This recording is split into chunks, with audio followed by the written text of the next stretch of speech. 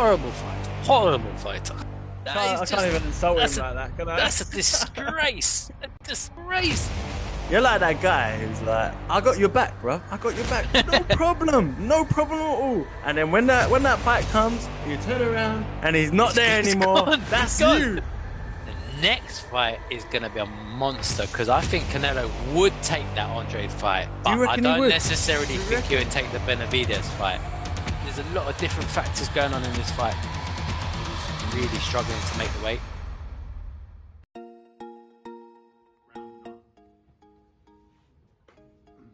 So, wh- so when so when can we get something going on? Oh, when can we make it happen? When can we make it happen though? What do you think? Man, you fight with nobody, brother. Okay. Hey, you are a champion, but I what, Wait, wait, you avoid him at 54, you avoid him at 160, now you're gonna avoid him at 168. get the fuck out of here. No, no, why'd you make him get out of here? Go home. Don't do that. Get the fight, man. You're a horrible fighter. Come beat me then. Come beat me. Horrible fighter. Horrible. Come beat me. Somebody come beat me. Beat somebody. Man, Bitch ass. Fuck, I'll fuck you up, bro. Welcome to another episode of Bloodlust Boxing. I'm Sam. And I'm Baz. Today's episode is Canelo ducking Benavidez. We'll get into it in this episode. Let's go, Baz. The Mexican monster. I guess before we before we go even go into that, there's a massive fight is coming up this weekend. Demetrius Andrade, Boo Boo, Boo Boo Andrade versus Benavidez. It's going to be a classic, isn't it? It's gonna be a tear up, stuff. It's gonna be a tear up. Or as some people saying it could be a chess match. Both skillful fighters. I'm very happy for Andre getting Mm. this getting this opportunity. He's he's almost been ducked by a lot of the big fighters for so long, and You reckon? I, you, do you reckon Andre's been ducked? Do you reckon? yeah, hundred percent, hundred percent. Yeah. I don't know, man. I don't know. I feel like Beverly Benavidez has been, but I don't. Well, I don't feel the same way about. Supposedly Canelo's ducking Benavidez, but there, there are rumors that the winner of this fight gets Canelo. If I'm honest, I don't think Canelo would want to fight a Benavidez because of the size difference. I think he's probably learned from the whole Bivol thing that maybe jumping too high, you know, getting too close to that sun like Icarus, you know, get too close and you you know your wings burn, mate. So Sign the contract. Sign the contract. we had that famous saying, "Bene, bene." Well, Andre, Andre was trying to get the fight with Canelo. It just, just didn't happen. I thought Andre had a genuine shout for that fight with Canelo. He'd won everything he needed to win up to that point. Canelo was looking for the next fighter, but he said he's, he's an horrible fighter. Horrible fighter. Horrible. Who have you But fought? is he a horrible fighter, Baz? I mean, you've been watching Andre. What do you reckon? Is is he a horrible fighter? Yeah, I wouldn't want to fight him. Yeah, he's very awkward, isn't he? He like Yeah, we saw in that Liam Williams fight, and there's like, a Mm, couple of other fights that he, he loves to throw from angles. He throws from strange low. angles. high. Strange angles. You know what he reminds me of? You remind he reminds me of like um, a young Chris Eubank Jr. And that's not like I'm not I'm not dissing him for that. I mean in terms of throwing punches from weird positions, like Yeah, yeah, that yeah. that odd sort of style. But he's very oh, accurate with it, though. I think Yeah, that's yeah, the very difference there because he, accurate, he yeah. he's like a, a clinician. He just he targets the head of the body and he hits the Mm. target nearly every time. Yeah, he doesn't really waste a lot of energy. No, no, Um, he's got these long arms. They're like these uh, like alien levers. arms. He's it's just like, It's a bit like Tommy Fury. Tommy Fury's got some like crazy long arms, like you know. How do you even link Tommy Fury? That's how I know. Andre, I, can't, I just- can't even insult him a- like that, can I? That's a disgrace. a disgrace. Why are you besmirching Andre the name I'm like sorry. that? I'm like, I'm a big fan of Andre. Like, I feel he's one of those bro. fighters. He just doesn't. I shouldn't the even mention you in the same same light. you know what? I've I started watching dirty. Andre. Like he signed with DAZN. He's one of DAZN's big signings On under Matchroom. There's a lot of fanfare made about it. It's when they were trying to crack America, and it didn't Yeah. quite work out. They spent a lot of money on him. Didn't Mm. really get the numbers on the Zone that they wanted, and then It's unfortunately, really it's really him go. hard for that those US fighters though. I feel to to get the Mhm. numbers, they really got to sell themselves, and I think that's what that's what he's lacked a little bit. He's he's lacked that PR stunt behind him. Well, they push they push money trying to trying to push him out there to the public, but Mm, I think that's not enough. You you have to push yourself as a fighter, Yeah. don't you? Really, Yeah. to build that name. get your name in the limelight. and I think like the it- Charlos, like the like the Mm. Beverly is like of the world. well, Benavidez, I I guess the thing with him, he's got that Mexican background. They love the This fighters. this is it. and, you yeah, know, Me- Mexicans do well to, to sell themselves. And I think you said it before with regards to the different states in the US, because you've got all the different states, and you kind of each state kind of backs their fighter, but it kind of depends on which state you're from. And just because Yeah. you're known in one state doesn't mean you're you're known around the US. Whereas in the UK, if you're a good fighter, generally you'll be liked and well known across the whole country rather That's than it, just like. London or up north in the uh, so I think that's the thing there. Andre, look, let's break down the stats, Baz. Andre, he's got 32 and 0. He's got 19 KOs. It's not a massive res- KO it's ratio. respectable. It's respectable. Yeah, it's about 50, 52%. You know, um, I worked that out on the Yeah. maths. He is Yeah. 35 years old, and I think that's that could tell in the fight. That's a uh, good point. That's a good point. Whereas we've got Benavidez 27 and 0, 23 KOs. Good KO ratio there, Baz. That's brutal. That's I mean, percentage wise, that's that's high. That's high.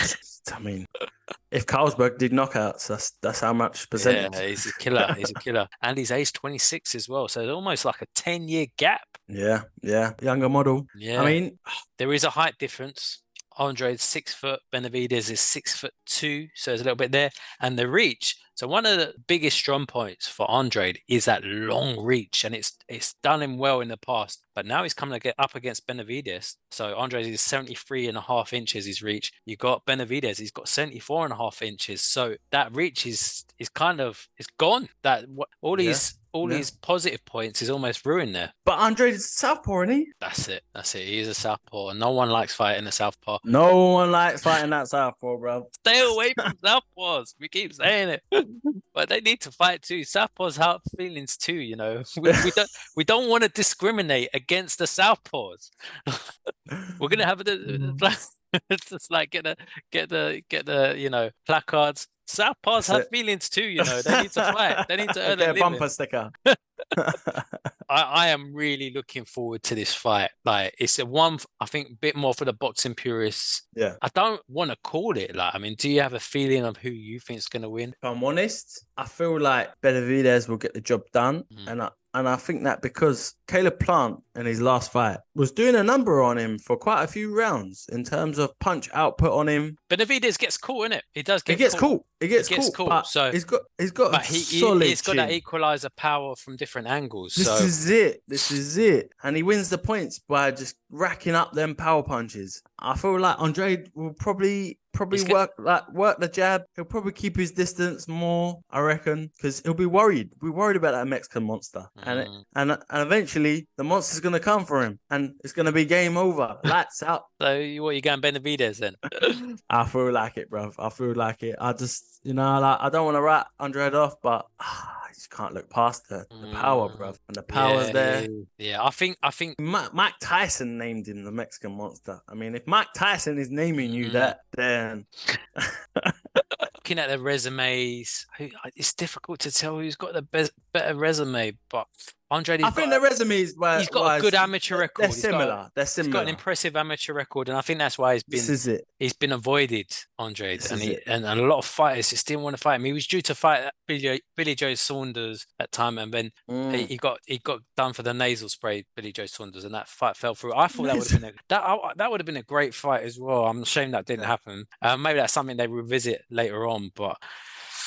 Oh yeah, yeah. What you know, you, you feeling then, sir? it's tough to tell. I there's there's a couple of there's a lot of different factors going on in this fight. So I think one of the biggest things for Andre that he struggled with in the past is down the stretch he tends to slow down and he's he's he can get caught. And I think that's been issues to do with making the weight. Like he was really Mm. struggling to make the weight, and now he's I think he's jumping up from 160 to 168. So that's I think that's going to be a benefit for Andre. But Yeah. then on the flip side, has he felt the power of a 168 fighter. So you, you you got different things they're working against each other. So some of the Yeah. positives are going to be outweighed by the negatives, and it's Yeah. a tricky one to try and call. And it might be one of those Baz where I think I have to see them closer up in fight week Ah, don't a head to head at the weigh-in, weigh-in. Listen, just to get a feeling. So if you just wanna like, you can just admit it, bruv. I mean, I, I win nine times out of ten between me and you. This, uh, it's just one of them things. I mean, I may be the younger brother, but I've just born more. Look, gifted. look, look, I, I? I, put I put myself back. We've been we've been we've been both doing well the last couple of weeks. We've been getting it right. But now, look, let me wait to get to fight week. Like, let's get to weigh in. and maybe even a case of watching the two fighters before they get in. That's how late I might drop the prediction. so Oh, yeah, like, I, can't. I don't want to do it. I would have gone for Andre, but there's so many different factors working here, and things are working against him. such a cop out. You're such a cop out, bro. You're like that guy who's like, "I got your back, bro. I got your back. No problem. No problem at all." And then when that when that fight comes, and you turn around and he's not It's- there it's anymore, gone. that's It's gone. you. It's gone. Cheers, man. Cheers. I, I'm lying, I'll I'm lying. I'll You fight to the death. Like, anyway, anyway, I look, I, I think it's gonna be a great fight. Yeah. Uh, we haven't touched on the undercard. We need to have a look at that. But you know, I'm I'm glad Andre's getting that big fight. Yeah, And yeah. if he wins, the next fight is gonna be a monster because I think Canelo would take that Andre fight. Do But you I don't necessarily Do think he would take the Benavidez fight. So I don't, I. I don't think he's gonna take either of them because Canelo's been been plotting nicely. I, I think he's avoiding that. Definitely, definitely. Yeah, but it's on Showtime. Tune in. It's going to be pay per view. UK. Need to have a look at how much that actually is. It. Hmm. Uh, I, I need to have a figure. I need to do some research. We should really know how we're going to watch the fight because in the UK, We should do. hopefully someone's picking up the rights from the UK, so we can have a watch of it. Because it's uh, yeah, we'll find it. We'll find it. If you haven't We already, always, hit that we always find a way. Hit that like button and subscribe. Boosh.